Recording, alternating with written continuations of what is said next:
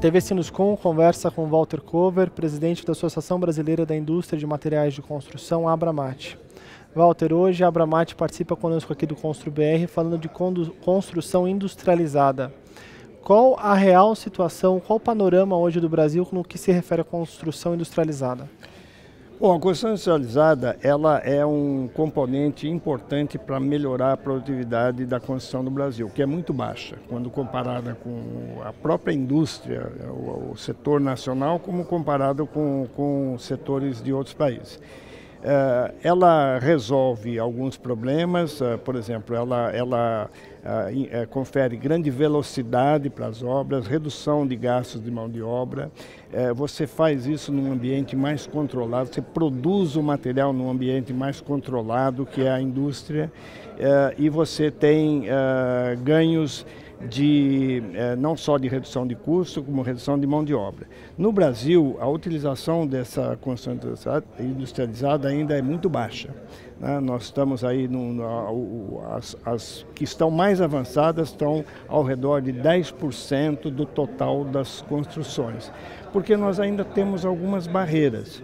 Eh, uma delas é a barreira uh, tributária, ou seja, nós temos maiores impostos naquilo que é feito no ambiente das indústrias e depois vai para o canteiro de obra, do que quando comparado, por exemplo, com aquilo que é feito convencionalmente no canteiro de obra.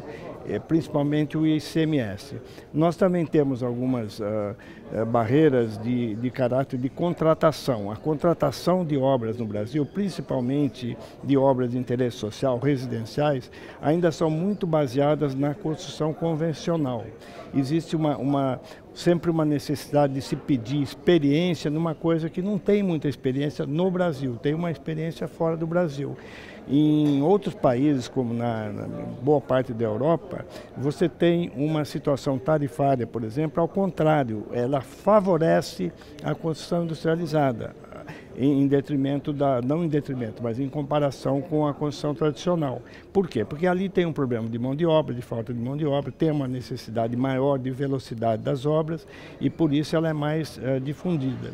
Né? Mas nós achamos que esses desafios são naturais, é cultural, isso vai, isso vai acabar com o tempo. E como eu disse, a, a construção industrializada ela resolve em boa parte o, o problema da produtividade que, que no Brasil ainda é muito baixo.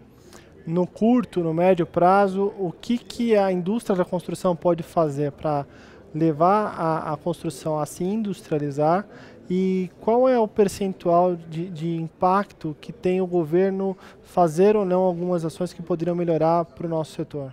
O governo tem que mudar as normas de contratação de obras, isso é um papel do governo, mas nós da indústria, nós das construtoras temos que levar ideias eh, para o governo, para a Caixa Econômica, para poder alterar esse quadro. Né? Nós achamos que maior, a, a, vamos dizer, no, no, no, essa é uma, é uma área que a gente não depende muito de governo, a gente depende das próprias forças, ou seja, a gente conseguir mostrar as vantagens da construção industrializada, né? mostrar para para os agentes econômicos, principalmente, convencer as construtoras que essa interação indústria-construtoras é extremamente benéfica. O papel do governo, é, isso vale não só para a construção industrializada, mas para como um todo, é, por exemplo, melhorar a, a, a logística de distribuição.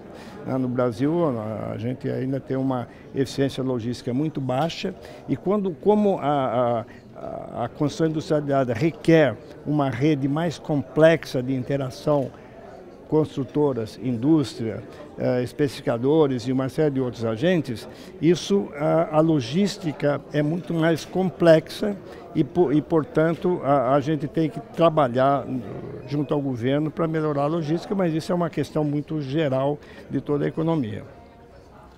A TV Sinuscom conversou com Walter Cover, presidente da Associação Brasileira da Indústria de Materiais de Construção.